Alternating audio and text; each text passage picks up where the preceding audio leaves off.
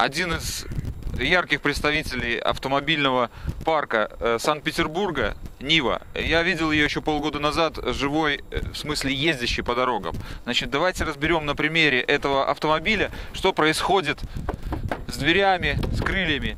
Как видим, если нету повреждения вот по центру, да, вот такого вот, да, то жук образовываться не будет. Но он обязательно образуется, коррозия обязательно образовывается. Вот в этих вот частях дверей. И пошло на краях крыльев, вот здесь вокруг бензобака, да.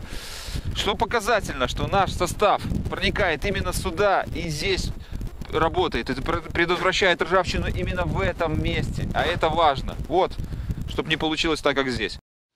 Защищает, поддерживает, сохраняет.